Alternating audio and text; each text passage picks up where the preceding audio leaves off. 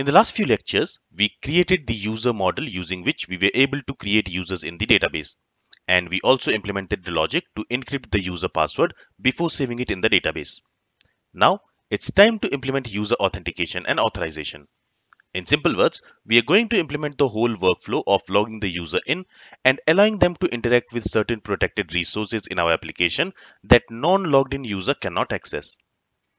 Now, there are many authentication methods out there, but the one which we are going to use is very modern, simple and secure approach which is called as JSON Web Token or JWT in short. JSON Web Tokens are stateless solution for authentication. That means no session state is stored on the server and that is perfect for RESTful APIs like the one which we are building. Because if you remember, we have learned that RESTful APIs should always be stateless. And there is also alternatives to JWT. And the most widely used alternative to authentication with JWTs is to just store the user login state on the server using sessions. But that does not follow the principle of RESTful API, which says the RESTful API should be stateless and that's why we are opting for the solution like JWT. So let's now take a look at how authentication works with JSON Web Token. So here we have a client and a server and assuming that we already have some users in the database, let's see how a user is authenticated when he tries to log into an app. So the user's client starts by making a post request to the server with username or email and the password. The application then checks if the user exists and if the password is correct. So if the user exists and if his password is correct, in that case, a unique JSON web token only for that user is created using a secret string that is stored on the server. Okay, so on the server, a secret string gets stored. Keep this point in mind because this is very important and we are going to understand why it is important later in this lecture. Now JSON Web Token itself, it is also just a string which looks something like this. And again, we will talk about this JSON Web Token in more detail later in this lecture. Alright, so from the client, we made a login request with email and password to the server. On the server, it is checking if the user exists and if the password is correct. In that case, it is going to create a unique JWT which looks something like this and it is also going to create a secret string which will be stored on the server. Once that is done, the server will then send this JWT, so basically this string back to the client. And there it will be stored either in cookie or in the local storage. Now this JSON web token which is stored on the client, it will act like an identity proof for the user to get access to the protected routes. And in this way, the user is authenticated and basically logged into the application without leaving any state on the server. So the server does not know which user are actually logged in, but of course the user knows that he is logged in because he has a valid JSON web token. Now, just to make sure that you understand, a user is logged in as soon as he gets back his unique valid web token on the client, which is not saved anywhere on the server. And this process is therefore completely stateless. Now, once the user is logged in, each time he wants to access a protected route, for example, his user profile data, the client sends that JSON web token along with the request. Okay, so you can see when the user is trying to access his user profile, along with the request, he is also sending this JSON web token to the server. So it's a bit like showing his identity proof to get access to the protected resource. Now, once the request hits the server, our app will then verify if the JSON web token is valid or not. And we will understand how this verification works a bit later in this lecture. Okay. Now, if the token is valid, then the requested data will be sent back to the client. But if the token is not valid, then there will be an error telling the user that he is not allowed to access that resource. And also, as long as the user is logged in, this is how it's going to work each time that he requests a data from any protected route. Now, the important point to note here is that all this request and response communication must happen using HTTPS protocol, basically using a secure and encrypted HTTP request and responses. And this is important to prevent anyone from getting access to password or JSON web token. Only then we have a really secure system. And we will talk about that later in this section. And this basic knowledge is all you need to know in order to implement authentication using JWT. But let's now dive a little bit deeper on how the JWT itself actually works. A JSON Web Token looks something like this. Now we can take a JWT from JWT debugger at jwt.io. Essentially, JWT is an encoding string made up of three parts. So here in the left hand side, you can see the JWT string, basically the encoded JWT string. And if we decode it, it consists of three parts. It consists of header. Header is just a metadata about the token itself.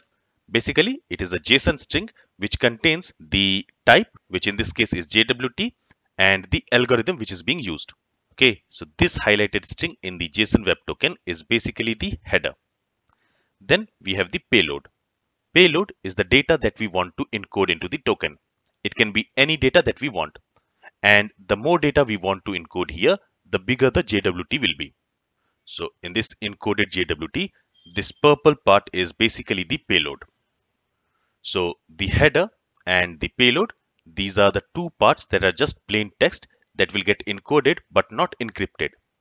So anyone will be able to decode them and then read them. So we cannot store any sensitive data in here. But that's not a problem at all because in the third part, which is signature, this is where everything gets interesting.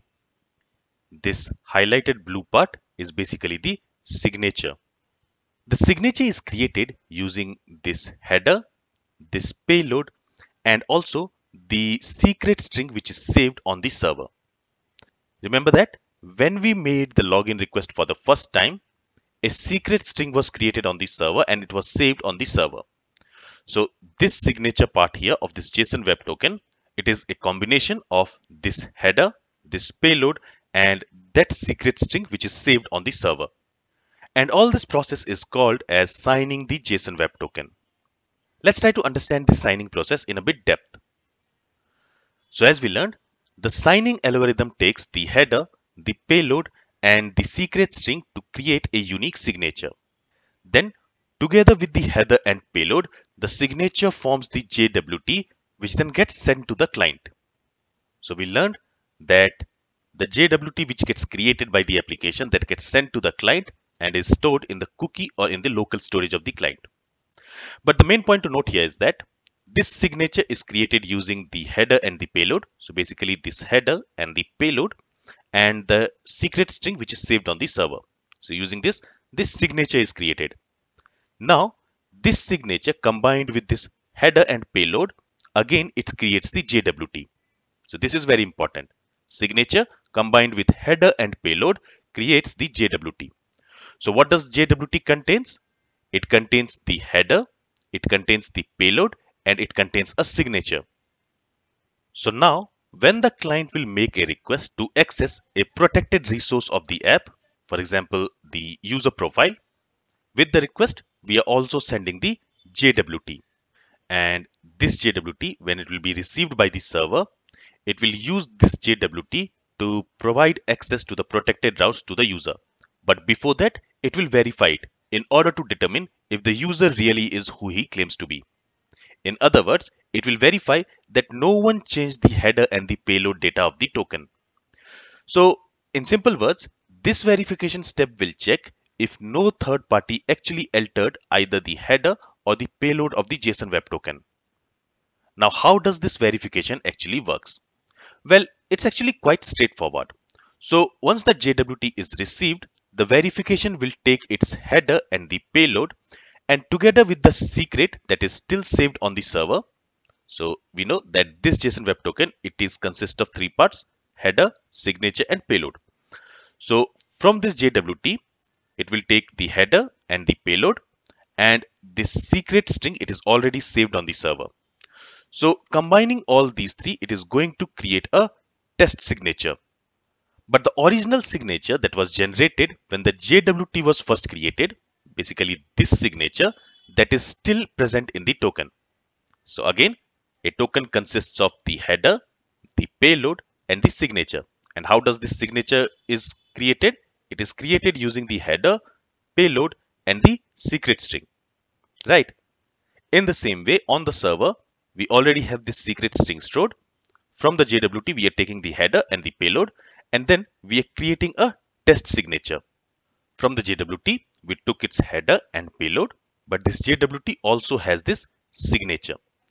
So now all we have to do is we have to compare this test signature with the original signature. And if the test signature is same as the original signature, that means the payload and the header has not been modified. Because if they are modified, then the test signature would have to be different from the original signature. So if both signature and test signature is same, we can then authenticate the user. Otherwise, if they are different, that means someone tampered with the data, usually by trying to change the payload. So in that case, we would not authenticate the user because in that case, the test signature will be different from the original signature. So in that case, we will not authenticate the user. And this is the key of making this whole system work. It's this implementation which makes JWT simple but extremely powerful. In summary, without the secret, no one will be able to manipulate the JWT data because they cannot create a valid signature for that data without the secret string which is saved on this server. Now, if the user is authenticated, then the requested data will be sent back to the client. Otherwise, an error will be sent back to the client saying that you are not authenticated to access this resource. Okay. Now, we are not going to implement these JWT algorithms by ourselves. They are very complex and we are not going to reinvent the wheel here. But still, it is very important to understand how this whole process works behind the scenes. And I hope with this lecture, you have some idea of how it is going to work internally. This is all from this lecture. From the next lecture, let's go ahead and let's start implementing authentication and authorization in our Express app. Thank you for listening and have a great day.